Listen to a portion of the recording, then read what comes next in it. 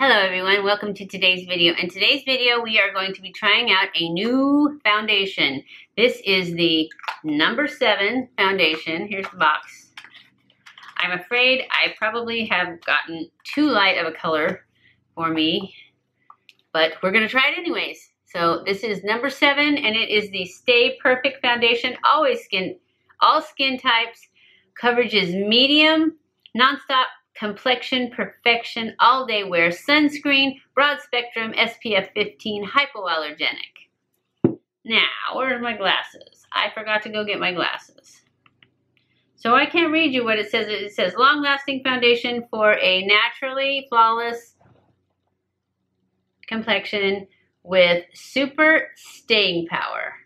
This comfortable foundation feels lightweight and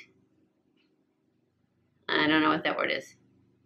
And gives you even cor correct, beautifully smooth complexion that looks fresh all day long. Probably don't want me to read this since I can't really see it very well.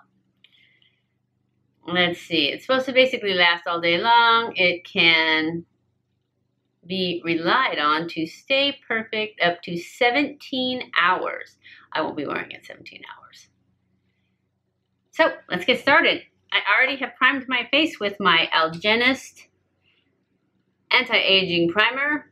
Oh, Pore Correction Anti-Aging Primer. So, we'll just go right in with this. It does come with a nice pump. Um, I am going to just put it on the back of my hand. And there is the color. See why I think it's too light. Hopefully I'm wrong. Hopefully it's going to go on perfectly. And then I'm just going to put it on my face. And spread it out with my brush.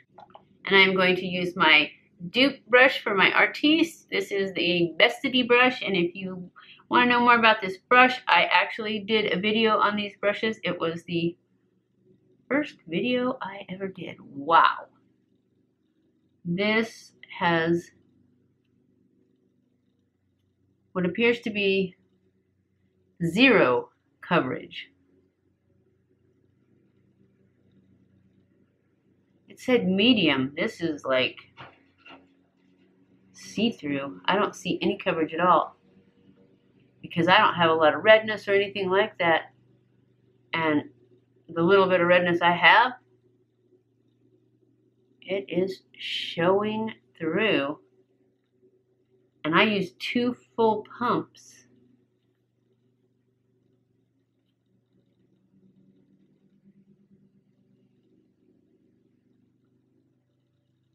Wow.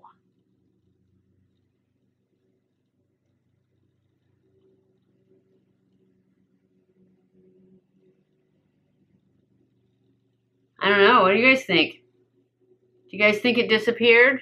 I think it disappeared. Okay, let's get another pump.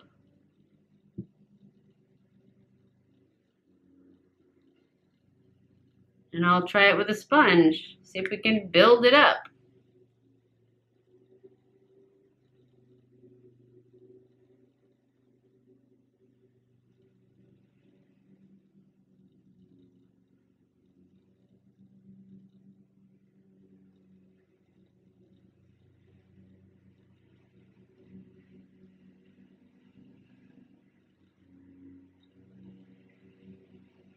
Definitely got a glow to it.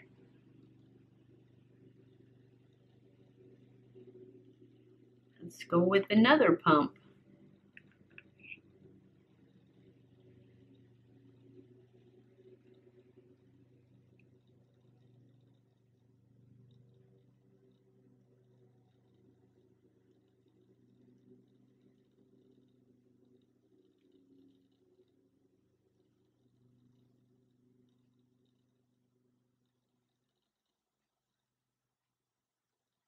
It really feels like it is not covering anything.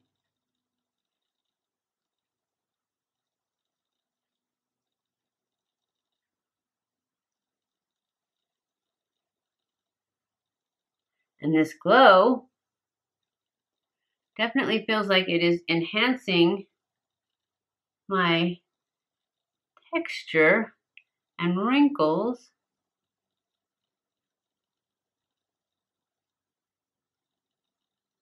Feel like I'm being super negative, which I don't like to be, but it didn't even cover the veins.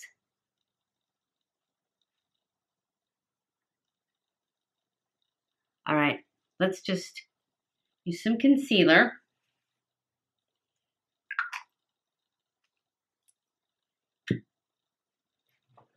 We will use my Tarte Shape Tape and see if we can save this.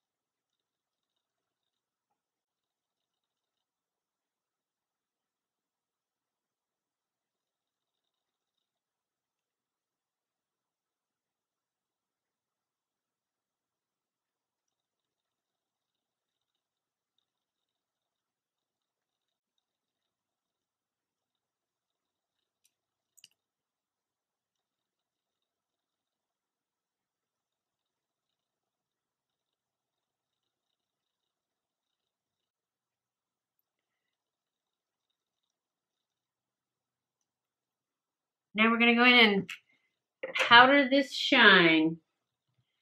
I'm going to use my Laura Mercier translucent powder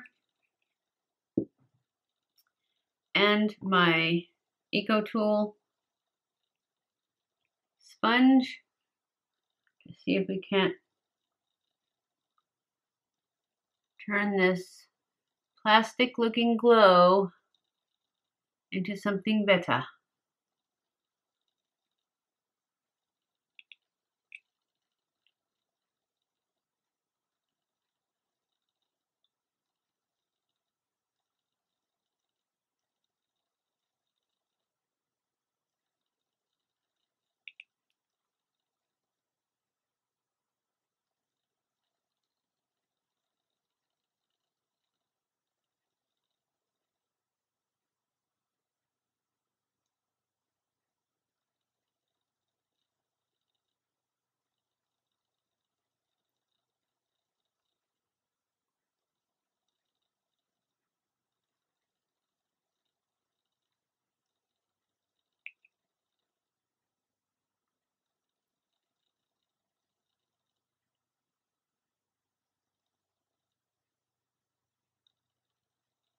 I'm going to let that sit for a few minutes. It's not really baking, but it's kind of baking while I do my eyebrows. And now I'm going to brush this off.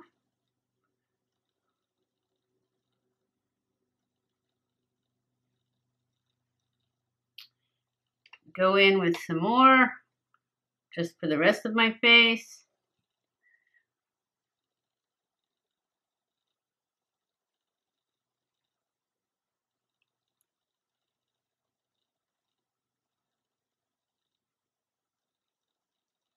Okay, I am going to go finish the rest of my makeup and then I will come back. Okay, I finished putting on my makeup and my initial views of this um, foundation. This is the number seven foundation from Target. And I think they have it at Ulta too. I'm not sure. But this is the number seven Stay Perfect because there were a couple different kinds of number seven foundation, but this is the Stay Perfect foundation. And it says it's medium coverage. I do not think it's medium coverage. I think it is sheer at best. It did build up a little bit, but I felt like it was dragging when I would put stuff on top of it. So um, my first impressions are not that good. It didn't really cover as well as I like. And it was a little hard to blend things on top without losing the coverage. Because see the dark spots right there? I have dark spots and I thought I had them covered, but then when I put on my blush and bronzer, it seemed like it drug some of it off. So we will do a wear test. It's not going to be too long because it's like noon now, but I will let you know how it wears. Hello everybody, welcome back. I, it is the end of the day. Well, it's really not quite the end of the day, but I think I've given it enough of a wear test. This product actually says the Stay Perfect Foundation from number seven. It says it would last up to 17 hours. It's only been probably about six hours, but I have already formed my opinion. Yeah, it doesn't seem to have moved at all. It took a lot of product to get this amount of coverage. It's actually, to me, if you like a light coverage, it's probably great. Especially if you don't like a matte finish because it was a glowy finish. I powdered it down and that helped it a lot to me because I like a velvet finish. Um, I feel like when I have the shine that it makes my face look plastic and it makes it look like plastic with wrinkles. So I would rather have it a velvet look and I don't think that the matte finish makes my wrinkles any worse than the shine. I actually like the, the matte finish better. But I did get a matte finish by putting the powder on top of it, so it's okay. It's a little shiny on my nose, but that's probably because I'm sweating. But um, as far as it goes, for me, I, I'm sure that I won't use it again because it just took too much product to get the coverage that I want. And like I said, when I put on my um, blush and bronzer, it seemed like it moved underneath, and I didn't like that. Although now it looks fine from a distance. It's just when you get up, even close, it's fine now. I just don't like the amount of product I had to use to get to this. But if you don't mind the shine, but you wanted a fuller coverage. And this one you can get to there. I don't actually I don't think you can get to a full coverage with it, but you can get to this medium coverage if you don't mind using a lot of product. Because it took four or five pumps to get to this and two full coats.